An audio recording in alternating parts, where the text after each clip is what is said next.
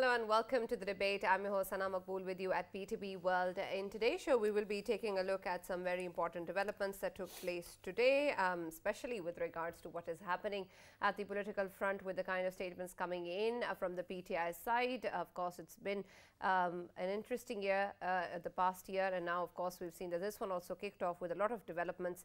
Uh, and uh, unfortunately, we've seen that there is still a lot of political instability as to what is going on. As of now, uh, we know that the Punjab Assembly has been dissolved. The uh, KPCM has also uh, signed the summary for the dissolution of the KP Assembly. Um, and then, of course, uh, there is also the development that took place uh, prior to that. Uh, that is what happened in the National Assembly with the Speaker accepting 35 more resignations, 34 from the PTI, one from the Awami Muslim League. Um, and of course, this is coming in the aftermath of the announcements made earlier by the PTI chairman and other PTI leaders as well, uh, referring to PTI's return to the National Assembly uh, and uh, their prospects with regards to what sort of decisions or factors they will consider, especially in terms of the numbers if they want to take up the issue of the ouster of the Prime Minister in a tit for tat move. exactly what numbers do they need, especially when we talk about how the PTI dissident Mr. Raja Riaz is also there and there is of course now the acceptance of these resignations. Um, and then even despite that, whether or not this will be something that the PTI will be able to unfold.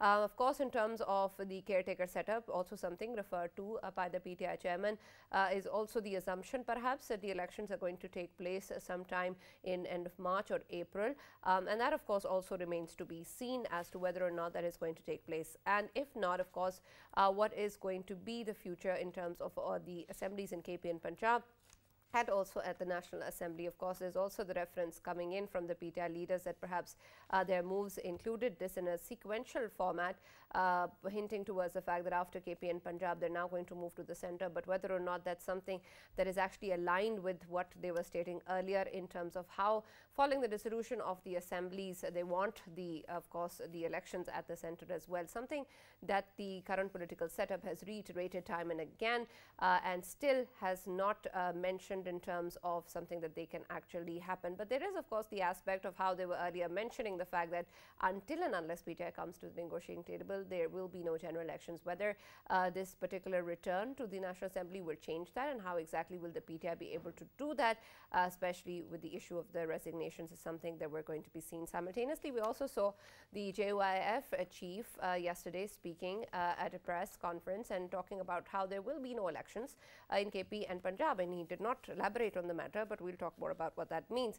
Uh, in our first segment, this is what we're going to be focusing at. In our next one, we're going to be looking at uh, the possible scenario with regards to a discounted deal coming in from Russia with a delegation, an 80-member delegation arriving in Pakistan today uh, and uh, talking about the very important deal, uh, especially the flagship $3 billion uh, Pakistan stream gas pipeline project, which is of course extremely important uh, with regards to Pakistan's LNG issues and of course the kind of economic situation that the country is going through. So whether or not we'll be able to get a deal, how soon can the money flow in, how soon can we get the petroleum products and how useful they are going to be in terms of the kind of industries and refineries we have are all issues that we're going to discuss in the next segment of the show today. For this and more, as always, in the studios I've been joined by senior analyst Farooq Pitafi. We've also been joined in our studios today by senior journalist Mr. Farid Rais. Thank you very much, Mr. Farid, for being a part of the show. Um, and of course, with regards to the discussion on, on the current political dynamics dynamics. We will be exploring uh, what uh, the future entails and what sort of expectations need to exist. So let me start with you, Mr. Farid, considering, of course, that there are a number of important developments uh, that have taken place today, uh, especially uh, since we uh, looked at the resignations coming in and the acceptance of 35 resignations at the National Assembly and then, of course, the dissolution of the KP Assembly. What does this mean in, in terms of the way moving forward, we're going to be taking a look at what is going to happen at the center and uh, what of these statements that have been coming in, considering um, that we earlier did not see uh, any major acceptance coming in from the National Assembly, but now uh, of course, uh, a large number of resignations have been accepted. But before you answer, let me also quickly welcome in the show Rana Maqbool Ahmad, Senator PMLN, who's also joined us online. Thank you very much, Rana Saab, for being a part of the show. Yes, Mr. Free. Uh, thank you, Sana. I hope so. The PTI must be surprised and they wouldn't be thinking about this acceptance of the resignations uh, in the National Assembly, the 35 members of the, of, of the resignation. I think so. PTI should not be worried about it because, as far as you discussed in your introduction about the dissolution of the Punjab Assembly, uh, afterwards the CM KPK has also sent the summary uh, to the governor KPK for the dissolution of the KPK Assembly also. So, at this moment, Pakistan Tehreek-e-Insaf uh, uh, is looking and eyeing for an early election, and they believe that an early election is the only solution to save the economy, to save the country, and to get out of this current uh, the challenges Pakistan is facing towards this time. I think so. It would it wouldn't have been played any any significant role if Imran Khan decided to return to the assemblies at this moment and in, uh, earlier uh, later, later this evening today. Uh, it was there was a parliamentary meeting between uh, parliamentary meeting of the Pakistan Tehreek-e-Insaf in the leadership of Imran Khan, and at this moment there was a news coming up that the, that that the, the, parliamentary committee had given all the mandate to Imran Khan whether to return to these assemblies or not. But there is always a U-turn we have seen in the instance of PTI. Uh, they once they in the, in the, in the past they they made a narrative about when in the April uh, when the government was sent uh, by a vote of no confidence and at and for till that time until now they, they they always were of this opinion that there was a conspiracy against the government and they will not return to the assemblies. And they will not and if they return to the assemblies uh, first it is not possible. And if they return to the assembly then it will uh, back up the narrative that okay they will support this uh, conspiracy of sending their own government. But now now I think so with, the, with, the, with their 11 members resignations earlier accepted and now these 35 members uh, if the total number if you count over there and if they are eyeing for a vote of no confidence against the PM Shehbaz Sharif. I think so PTI would not have been able to get any kind of success over there or they could able to fulfill the numbers over there. But yes, they after the getting the vote of confidence in the Punjab Assembly, PTI must be confident enough to get to, to, to increase some kind of a pressure on the federal government for an early election. But as you said earlier about that, yes, the early elections or uh, the elections date which Imran Khan is, uh, is, uh, is, eyeing on, it is not possible unless and until Imran Khan and the government sit together as, as we have seen that the Interior Minister Rana Sanaullah yesterday said that yes, okay, we will welcome uh, PTI in the assemblies, but, uh, but if they if they if they come up with some uh, some uh, some positive things or if they come up with the caretaker want to talk on the caretaker setup but other than that there will be no talk so i think so over there that pti this they all these kind of uh, moves because as uh, maulana fazlur rahman has also said that there will be no elections in the punjab assembly there will be no elections in the kp assembly but you know all the things if there will be no elections mm. in the hmm. punjab if there will no elections in the kpk assembly if the resignations of the pti members of the national assembly have been accepted counting the numbers to overall uh, 35 uh, now and 11 before it counting to 46 over there. So there are the number of seats which are vacant over there. So uh, if, if there are no early elections, that there is a big question mark over there that how the state of the affairs are being run and what right. will be the uh, future of that thing as Pakistan is also negotiating with the IMF also. Hmm. So if there is some kind of plan or if the government want to uh, make the things better over there, so there is there is only a chance at which I see over there that there must be a talk between both the PDM and the PTI all to right. get to get all hold of some kind of a middle solution in between to get hold of the election. All right, let's see if that is uh, even a possibility right now for the political setup. Rana Sahab, of course, there was conversation earlier as well uh, with regards to the fact that uh, the uh, the PDM will not be considering any uh, form of early elections uh, prior to the PTI coming to the negotiating table, whether or not the return to the NA, if the PTI does make that move, changes any of that. And then also, of course, the Interior Minister has pointed out towards the fact that there will be no conversation to the current tenure. But then again, we see statements coming in from uh, the JUIF chief saying that there are no elections that are going to be held in um, Punjab and KP. What is that about? Could you explain uh, uh, the, the current way forward for the current political setup as to what they're seeing both in KP and Punjab and then at the center as well? And Rana Sahab, could you also explain the reason behind today's move? Thank you very much, my Islam, to all honorable participants. Actually, this total jugglery is uh, uh, is uh, the product of abnormal behavior of Mr. Imran Khan. You might remember once he announced uh, an attack on Islamabad back on 25th of May. There was a situation, and the government had decided to dissolve the assemblies and go for the elections. But he threatened that I'm coming and I'll uh, snatch the time and the date from the government and I'll topple the government for the sake of general elections. Everything he does in a very aggressive and a very uh, revengeful and a very clumsy manner. So that is the problem with him. And if one single individual is uh, playing with the fate of the country, look at his supporters and his disciples and his MNAs and his uh, outside, once they get out of the meeting, they crib and they uh, always say that this is not on, this is not proper. But I don't know why they are so much scared. I was listening to a very senior journalist uh, a few minutes before from KPK. He was uh, commenting on today's meeting and today's move for dissolution of KPK Assembly and the reaction and response of uh, the uh, MPs of KPK almost 99% were in disagreement with this move.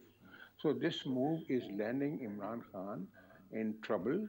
He is not going to gain anything out of it except for confusion, confounded chaos, and that too uh, mm, uh, chaotic conditions for the country.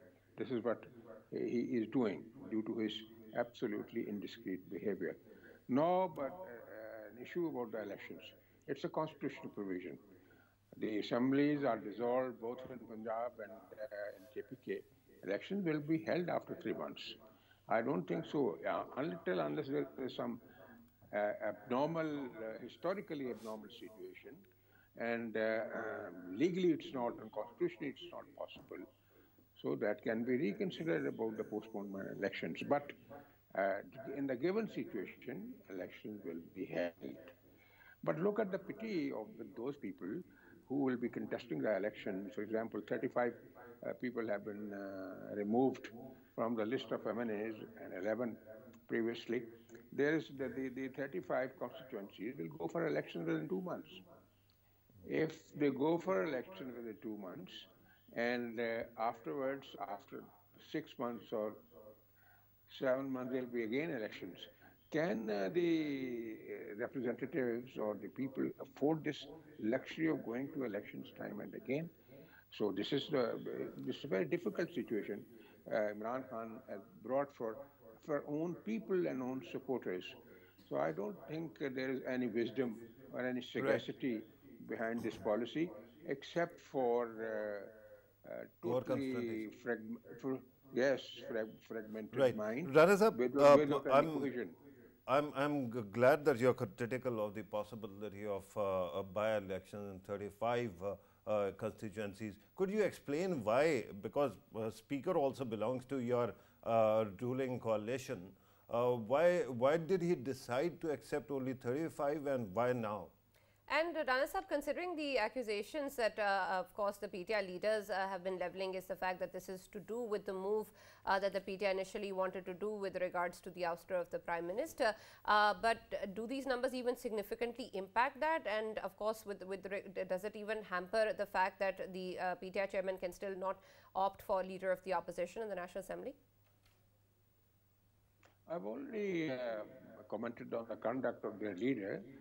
He is creating situations for his own men as well, for his own supporters, for his own MNS. Look at his behavior even before. No, Rana Sahib, my question is with regards to the acceptance I'm, I'm, of the uh, 34 resignations. okay. I'm answering the same same question. Okay. That before before even moving an inch he threatened the federal government that he'll come and he'll come like a hurricane and he'll topple everything. So the government and the party, they are uh, uh, by all means justified uh, uh, raising some defense. It was a defense raised by the government and by the speaker to curtail their numbers in the National Assembly for all practical purposes. Because he, uh, he was up to uh, creating this commotion in the National Assembly as well. He doesn't realize the critical conditions of the country. I don't know from where has he learned that election is the panacea for everything and that too under this situation. When the country is in a bad shape as far as the economy is concerned and law and order is concerned, there is an onslaught of terrorism in his own province. Look at what he has done with his own province where he is ruling for the last 13 years. Look at the poverty, joblessness, law and order, total disorder, lack of security, what has he done? What has he contributed? Except for creating confusion and creating chaos. It is, this is the main reason why these, these people have been relieved and their resignations have been accepted? Because there was uh, uh, an assessment that his uh, electoral part Right, but uh, Rana Sab, that doesn't answer the question that why this happened now and why these 34 members and why not all of the resignations altogether? And what is the change in terms yes, of the my, stance given I, by the I speaker question, of individual lawmakers coming to him? Okay. Government, government waited for them. As we have been discussing, that there was uh, a passion for understanding, for amity, sitting on the on the parlous table. That was the desire of the government. It was not only the desire of the government. This is what the president also wanted. The Honorable Chief Justice and uh, Supreme Court bench also asked uh, PTI to get back to the National Assembly, sit there, discuss issues, and resolve issues. But man is so adamant and uh, so unyielding that he didn't listen to anything. He wants to do everything by beating his opponents, which I think he will not uh, succeed. In the process, he is damaging his, his, own position and damaging the position of the country. So that is the reason, that is the reason this step has been taken. Uh, frankly, right. there's no. Uh, yes, okay, there's no uh, Rana Sab, we'll, we'll, I'll come back to you. Um, uh, Farooq, considering, of course, that when we take a look at the situation, there was also a statement coming in from uh, PTI leader Fawad Chaudhry, who spoke about how perhaps that after KP and Punjab, they're now going to move to the center. But um, help me understand how th this is sequential uh, in, in, terms of the way that it is being stated. Is that even something that's, uh, that was in line with PTI's original move, considering that the dissolution, of course, was there for early elections to be held and of course, in the National Assembly as well.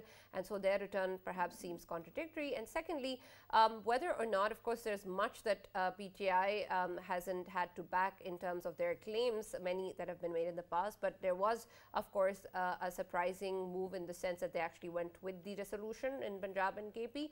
Is something as such as the return uh, at the center in the NA also a possibility? right, uh, Sana. A, of course, uh, to answer your question shortly. Uh, you know, uh, very quickly, uh, is that yes, it is a U-turn that PTI actually kept on talking about yesterday, day before yesterday. Mm -hmm. And I don't think it amounts to much. But with your permission, I want to actually first pay homage to Pakistani media. Uh, our media has the uh, knows the art of uh, hitting the target without you know while missing the point. Uh, since uh, uh, you know this decision came in, I've been listening to the truckload of pundits that dominate television channels, and I haven't seen anybody actually consulting the original source. Uh, you know the decision maker before actually coming up with their own analyses. So that was fun, and that was also funny in a sad, tra tragic kind of way. Uh, you know, uh, uh, I think that one thing is very clear. PTI has been demanding that their resignations be accepted. And uh, the Speaker National Assembly has been saying that uh, uh, only when I am sure that you can, uh, you know, those individual people want to do it, he will accept it. Uh, now, what is the fun part of this? These 35 people who have been unseated are the people who have gone on record on television in one program or another, or they have spoken at public rallies saying that their designations are original. Uh, so uh, it was a very comfortable uh, choice to make. Okay. media is so fa fascinatingly, you know, skewed in Pakistan that only a few days ago, when PTI actually pulled a surprise in Punjab, and it uh, managed to actually dissolve the assembly, there was a you know endless oohs and ahs on television. Look, PTI has done everything.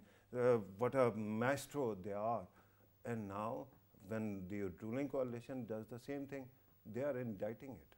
They are complaining about it, right? So this is an amazing, uh, uh, you know, turn of affairs. But uh, my humble submission is that uh, naturally, the original impulse came from one fact. Today, uh, 35 people's resignation was accepted, but not Imran Khan Saab's. Uh, you know, the message is very clear that trying to run or sabotage the National Assembly through remote control will not work all the people that you trust, uh, they are on public record. and that's why their resignations have been accepted. If, we, if there is going to be any opposition leader, it is either you or then Raja Riaz. So this is the simple fact that has uh, uh, materialized, and I think that there is no harm in this either. Mm. Uh, there is going to be an election in two months, and uh, we will be able to see how popular PTI is now in Punjab, in uh, Islamabad, in Karachi, elsewhere. So uh, more elections, not less, right? Uh, regarding what uh, PTI has done to its own, uh, you know, ruled governments, I think at this moment, while our media will keep on framing uh, this narrative as masterstroke or some kind of strategy, uh, to me, there is a party that has thrown away incredible advantages it had. First, it uh, walked out of the assembly and resigned twice, thrice, and their own uh, deputy speaker actually accepted all their resignations at that time en masse, right? Hmm. According to their narrative curve or their narrative arc, that has been done already. But uh, after that, they have thrown away the keys to the most populous province where you could have really, really made a difference. Uh, Chaudhry Parvez Elahi knows his, his work cut out, right? And he could have done uh, enough development in the province, most populous province in the country, hmm. to have an impact in the next election. They have thrown it away. And now Khyber Pakhtunkhwa, their final fortress, is gone as well. So I don't see any masterstroke. All I see is this scurrying, which is a product of uh, realizing that they had a gamble uh, and they went, uh, they, they actually gambled big uh, at the time of appointment of army chief and then they lost. And when they lost, they have been actually using their media goodwill to keep on uh, framing the narrative as if they are still the ascendant party. The reality lies in what happened in Karachi. Right. They lost. Right. Um, uh, Mr. Farid, considering what uh, Farokh has been saying regarding the resignations and the appearances on TV, something that was echoed by the Interior Minister as well as the reasoning perhaps behind these acceptances. But um, when we take a look at the situation, do you think, do you possibly see any more acceptance of more resignations coming in anytime soon? And secondly, if there is a return to the National Assembly by the PTI, and there's of course a lot uh, of talk with regards to the PTI mulling over legal possibilities of preventing uh, the PTI turncoats from voting in favor of the PDM. What sort of possibilities exist uh, for the PTI to actually be able to prevent that? How will that be possible? Actually, let me allow to continue a few words, to say sure, a few sure. words, uh, as uh, Farokh already said about the Karachi. I, wish to comment over this bit. As the PTI is, is, is, stressing upon the early elections, but as we see in the Karachi, actually, uh, they accepted that, as Imran Khan said, that okay, uh, our, our, preparations were not well enough over there as they already said that yes we had a popularity on the social media but we didn't we, we were, we, were, we failed to prepare ourselves and what happened in Karachi actually. They must learn a lesson from there do they have because there are some questions as a journalist which which arise in my mind. Do they have some kind of a strategy? What they want to do? What what they are what they are thinking to do?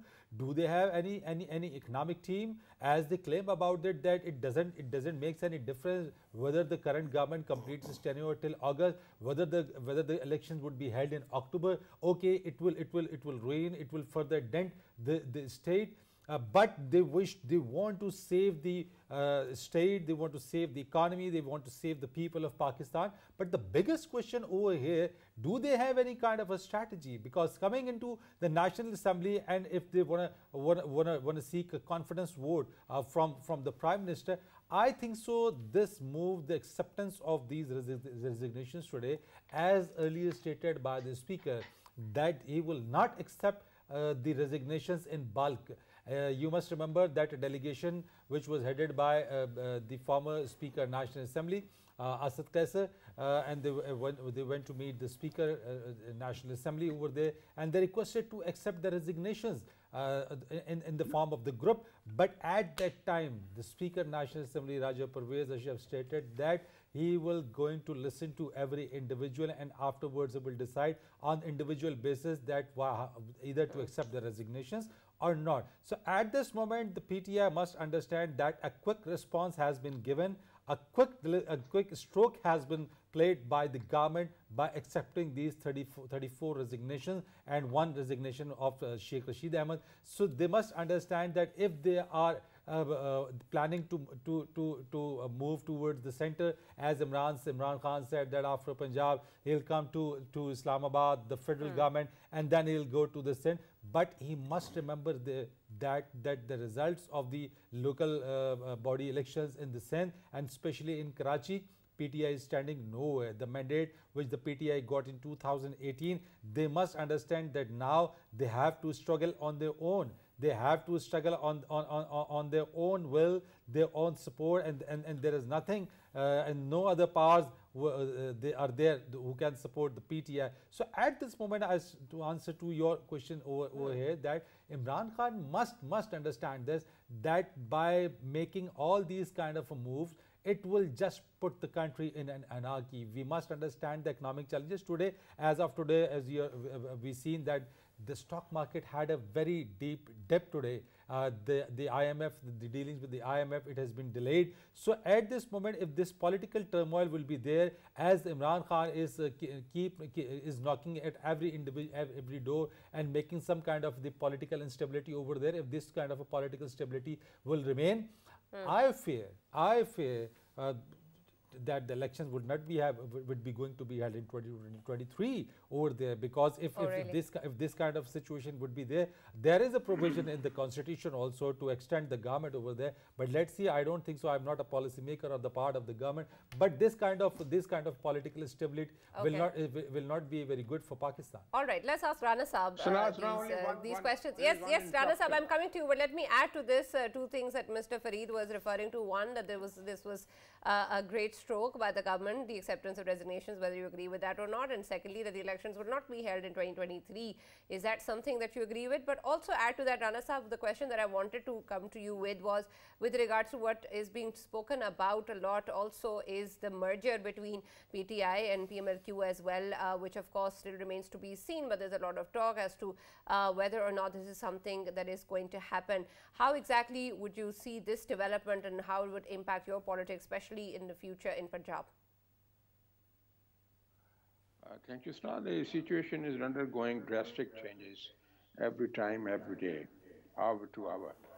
Uh, I may also submit uh, that Imran Khan is a, not an MNA nowadays. He was disqualified by the Election Commission. So he has not taken oath and he cannot, because by inference, his disqualification that happened after he was uh, elected in those in those constituencies. So he'll have to wait to be eligible for next general elections. That's the judgment of the uh, and that of the election commission, and that order has not been set aside. So I I submitted because uh, uh Mr. Yeah. Pitafi said yeah. that he has not been uh, his resignation has not been accepted. So there is no question of resignation also because he is uh, no more an MNA, he is a disqualified MNA. So the, what about this uh, Chaudhry Pervez Elahi? Pervez is uh, in the uh, in the devil within in the devil and the deep sea between the devil and the deep sea. First of all, he was jumping over to uh, PTI. Now there is a notice for dismissal uh, from uh, the president of the party, and he's also feeling that uh, Imran Khan is goofing up things. So his craft, uh, even craft of Elahi has failed with Imran Khan because he couldn't stand the pressure and uh, the suicidal things Imran Khan is uh, now carrying on, that will be harming everybody, his party and, uh, and uh, his peers. Now, there is a question of elections. I personally think uh, there could be circumstances, but elections should be held in time. And uh, uh, Fareed Saab uh, very happily said it's a master stroke or a very competent stroke, and uh, they have shortened the bullseye. I don't think that it's a stroke. It's unfortunate on the part of the parliamentary leaders and the Democrats. They should collectively and individually behave like democrats. They should not try to bulldoze everything against each other. They're harming the country. They were given opportunity time and again to rule in a sensible manner, but they have not been able to do this. And it's therefore uh, the, the other uh, stakeholders, they come in and they jump in and things get furthermore uh, spoiled. It's unfortunate there has to be some sense of responsibility. I think uh, we are losing a lot in this confusion. As a country, it's such a infatuating country, and we're not being very, very honest and very uh, discreet to this country. The politicians should realize, no, the ball is in their court. Imran Khan and other ones. As far as uh, my party is concerned, they are on the receiving ends. All filthy abuses uh, or uh, all derogatory remarks and uh, every type of attack they have been facing from day one. So I think we change our behavior, we change our diction, we change our policy, we change our vision in the interest of the country. That's the answer to the question. Right, absolutely, and of course that that should happen. Of course, uh, Farrukh, uh, in all of this, of course, there's also the the role that the president uh, has to play or is expected to play. And of course, I understand the position of the president, but there's also a, uh, some sort of party affiliation. There's been some meetings in the past that have been held with the PTI chairman as well. Yeah. Um, how is his, his role uh, looked at by different political parties and perceived in terms of his objectivity and in terms of how the situation is now unfolding or is expected to unfold at the, uh, at the center in the National Assembly with him asking the PM to get a trust vote? Uh, right, uh, Sana. let me first thank Rana for correcting me. I, uh, it slipped my mind that Imran Khan Sahab is, uh, uh, you know, there is this suspension. Um, although I don't see that that is a final, you know, something set in stone. it can be cancelled, and Imran Khan Sahab is already returned from seven, seven constituencies as well. till the time, of course, he doesn't take oath it is going to complicate the matters. Hmm. Uh, uh, but regarding president's role, I think at this moment, the only party that seems to be politicizing his role is PTI. Uh, that is not all. Uh, Pakistani pundits or Pakistani media also do the similar kind of thing. President is the head of state. He can, of course, meet, uh, uh, you know, any any politician he wants, and of course, the prime minister, former prime minister, uh, you know, he once belonged to that party. So if he meets him, that's okay. But remember those days when in, in Punjab there was talk of governor hmm. actually uh, asking a vote of confidence or demanding a vote of confidence. At that time, we kept on hearing PTI people telling us that the president might uh, actually sack uh, the governor and replace him with somebody else. Hmm, did that, that happen? Hmm. it did not. Similarly, uh, there are other, uh, you know, uh, positions regarding vote of confidence as well. President's office is supposed to be above all this. So he is going to, and I, I, I understand that governor's, uh, governor's office should have been in the similar way it wasn't at that time. Uh, but president's office is above this. And if he wants to demand a vote of confidence, he will do it based on some kind of shifting realities, right? There was a, a possibility that MQM could have actually, uh, uh, you know, separated their ways. Had that been done, uh, the number game would have been before our eyes, and somebody could have theoretically said the, that, that, the government, because PTI is still part of the parliament, their resignations have not been accepted, then uh, you can come back and you can rule, right? Uh, or you can uh, prove your uh, majority. That did not happen. regarding what Rana Sab was earlier saying about this not being a master stroke and this being, you know, something that might embarrass the parliament, look, my concern is simple. Uh, I have seen remarkable kind of uh, politics that that went on since April. Mm. It was, uh, uh, you know, politics on steroids. It was on acid. And, uh, you know, uh, when does it happen that you are asked to take a vote of confidence and you dissolve the assembly, right? when does it happen that, you know, chief minister is being voted out from Punjab, mm. and at that time you actually physically try to stop that. That was happening when Buzdar Sahib was there. Uh, the un, uh, uh, while Rana Sahib is very conscientious and I respect that, my uh, only humble submission is that this is realpolitik. And in realpolitik, if one side is going to play not according to the book, other side can actually play by the book and get a point, it will score a point, right? Right. Uh, just regarding my media peers, uh, what is that uh, Urdu saying? Jo chahe aapka husne karishma saaz kare, right? Uh, you, you want to make one side total evil, you want to make the other side total hero. That is your choice. But there are no heroes, there are no villains, there are no angels, there are no demons. This is merely politics. Right, and, and of course, I, we hope that this is something that is also uh, present in the minds of our, our, political decision makers as well, and they're able to see the sense of that. Thank you very much, Rana Sab, for joining us and being a part of the discussion. Please have you with us in the next segment as well. We'll take a short break and continue the discussion on what is going on at the economic front and hopefully a possible discounted deal from Russia.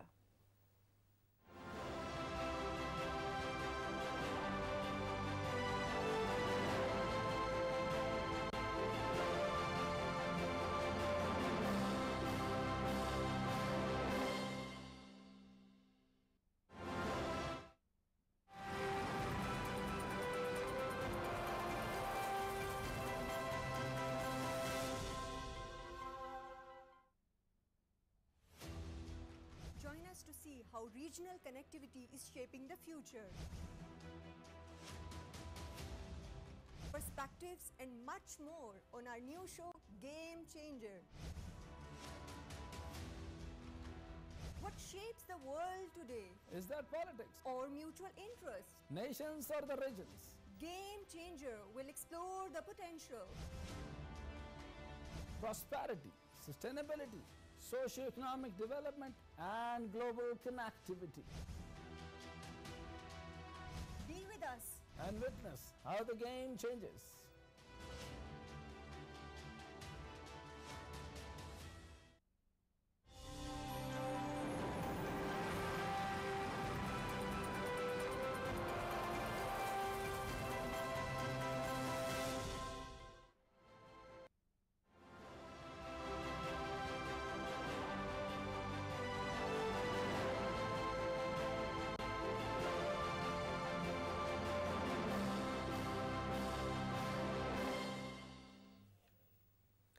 Welcome back to the debate. We're now going to be talking about the high-level 80-member Russian delegation that has reached Islamabad and it is going to attend the eighth session of the Intergovernmental Commission on Trade and Cooperation that is scheduled to take place from the 18th to the 20th of January.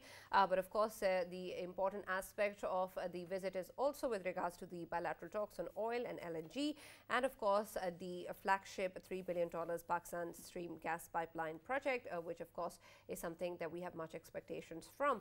There is, of course, uh, the economic challenges that exist in terms of our energy sector, and the discounted uh, petroleum products coming in from Russia will contribute a lot and will save Pakistan about $2 billion annually. And so this is going to be important in terms of uh, where we are standing today and how we want to proceed, especially in terms of the energy sector in the future.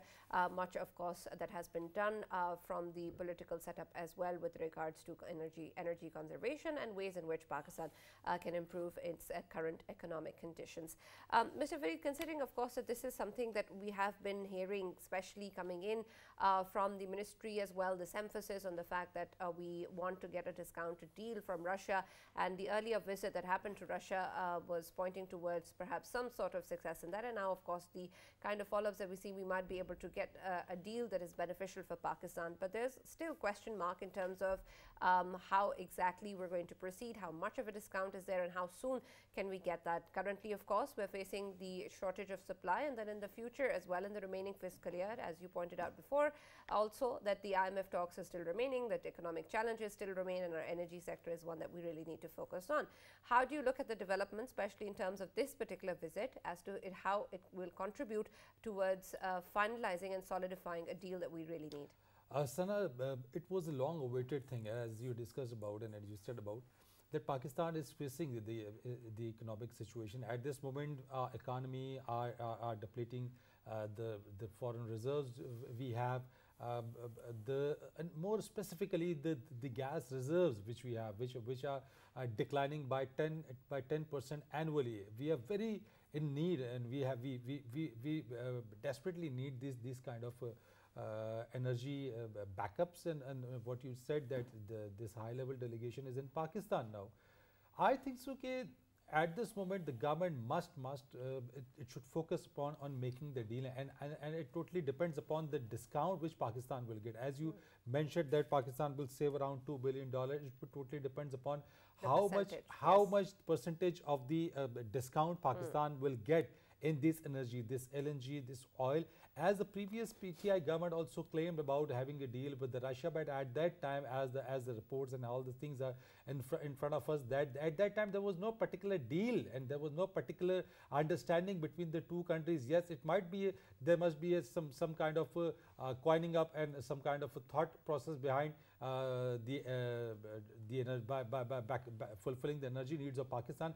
But right now, the visiting of this high level delegate from the Russia over there it makes uh, the sense that right now the government will uh, try its level best to make some kind of things with, with, with this delegate. And I think so at this moment it is very very uh, badly needed for Pakistan that it should it should sign a deal which is not only beneficial for the for, for, for the country but also for the energy resources which are being consumed by the industries by the people. Because as we all see over here the government had to increase the gas prices. The government is compelled to increase the gas prices and it it, it will be done it will be done gradually mm. by not now not putting further burden on on the, on the people over here and also uh, there, we, we have seen the gas load sheddings over in different right. cities of Pakistan. So it is only because of because Pakistan is, is, is, is losing its reserves. It badly needs the energy uh, reserves in Pakistan over here, and this kind of a deal will help out the people of Pakistan by uh, combating this. Uh, right. Uh, right. Uh, Farrukh, uh, what sort of factors do you think uh, are impacting this particular deal at the moment, especially or, or at, a global scale also, and in, in particular focus with the way that Pakistan's economic challenges um, uh, exist today, especially when we take a look at how the ninth review is still pending, how there is, yeah. of course, global economic concerns, uh, glo global fuel supply concerns, there's, of course, the conflict in Ukraine, um, and then there is, of course, the issue whether or not we're going to be able to be able to secure a deal uh, without the IMF's uh, green light as well. I, is this something that uh, we're, we're, factoring in in the way that we're looking at these discussions? Right, uh, Sana, I think uh, that there are two ways to look at this situation, right? One is system level analysis, that is international system and whatever is happening in Ukraine. Because of that, there are many dynamics and of course there is um, a divide on, on that matter all over the world and you know on which side of the divide I belong. But then uh, I'm also the, the, same person who has been since mid 90s writing in papers constantly uh, that uh, Pakistan should go to Russia and we should build robust bilateral relations, right? Uh, uh, it was unfortunate that in the Cold War we were juxtaposed against each other. So it is great it, uh, if we can actually put that aside and actually build on bilateral relations which are good because you know Russia uh, uh, has a lot of influence also in Central Asia, which is cradle of our civilization, Pakistani civilization. So there has been back and forth for quite some time. We saw that there was a good deadlock because of various circumstances, perhaps because of previous Afghan government, then of course Russia's own issues, and then of course naturally Indo, uh, India's veto on these matters as well. But Pakistan has weathered that all. Uh, now, uh, let me remind you how rewarding this relationship is for Pakistan at this moment. The second way to look at it is bilateral, right? Uh, uh recently, if you remember, there was flour crisis in this country. Uh, there was wheat crisis in this country. At that time, of course, there was strategic reserves by the provinces which were released. That's why it, it uh, was brought down. But that was also the time when two shipments of wheat arrived from Russia. At this moment, because Russia is one of the most sanctioned countries, uh, its product comes cheap. And then they are the same people when India and Pakistan were having these hostilities, when India said that it had carried out a surgical strike and there was a possibility of a follow-up attack. At that time, Russia's uh, military delegation was coming to Pakistan. They did not stop. They came over. So the bilateral relationship is very rewarding. And at this moment when, uh, you know, Pakistan, uh, the situation is such that because of this uh, Ukraine war, uh, Europe's uh, need for gas and oil is, has increased because they are not getting it from Russia. Now what happens is that we usually go to the market and we go to Qatar, other countries to get it. And they say that it is already sold out because Europeans are paying very, uh, you know, high um, uh, major buck for this, right? Mm. So that is a circumstance made in heaven for Pakistan and Russia. Russia is ready to sell its product, its gas, and Pakistan badly needs it. So in that situation, it is very opportune. Uh, and uh, uh, there were concerns that America is perhaps going to veto or Europe is going to veto. But then we heard the State Department saying that whosoever wants to get a fair deal from Russia, they are open to. Right. And uh, because Russia has another bottleneck that is that they are going to deal only in ruble or certain currencies that include China's yuan. Hmm. And we are also in agreement with China regarding yuan's uh, use. Right. We can procure it, and this is good news. Let us hope in coming days we build the bilateral relations that goes beyond the Ukraine, uh, you know, crisis, and which is more rewarding to both sides. Absolutely, and that of course is the hope. Thank you, Farrukh, and thank you, uh, Mr. Farid Rais, for joining us and being a part of the discussion. There is much uh, hope coming in, of course, uh, from this particular delegation's visit, and we hope that we get to see uh, it result in tangible points for the people as well and for the energy sector. That's all that we have from the debate. We'll see you tomorrow.